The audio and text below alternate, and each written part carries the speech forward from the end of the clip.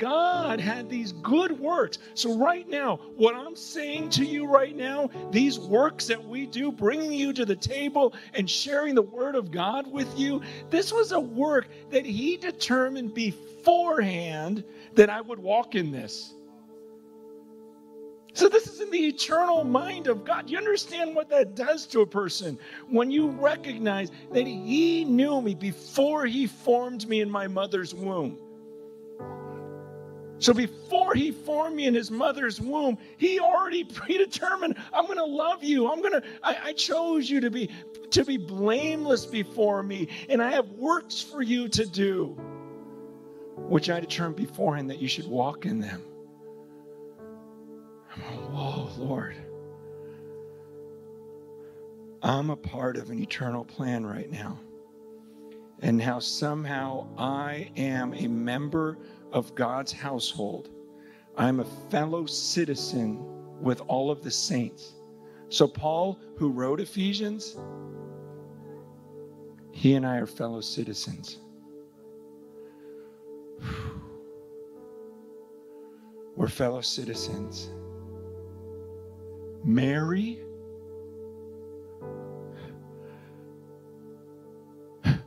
who had Christ in her,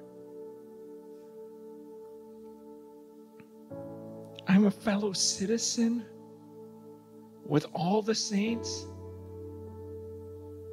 built on the foundation of the apostles and prophets. Christ is the cornerstone in whom the whole structure being joined together grows into a holy temple in the Lord. Do you see that picture? That I get to be a fellow citizen and built on the foundation of the apostles and prophets, Christ is the cornerstone, and it's just this one structure. The whole structure is being joined together into one giant holy temple that transcends time. Okay, you're a part of that. I'm a part of it. It's just this giant eternal plan that was hidden in God for ages. And now it's revealed to us. He's making a holy temple. And he's joining us with all of them. And that was the point of Christ in his death was to make one new man in place of the two.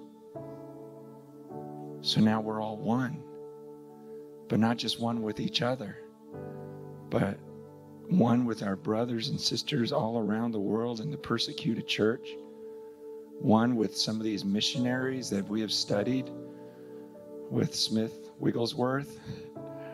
We're all one. The apostles, the prophets, Jesus, and we're all forming a holy temple in the Lord. See this? This is deep. This is the stuff that's foundational. And I fear that if we don't understand some of these deep truths in the scriptures, we're not going to persevere.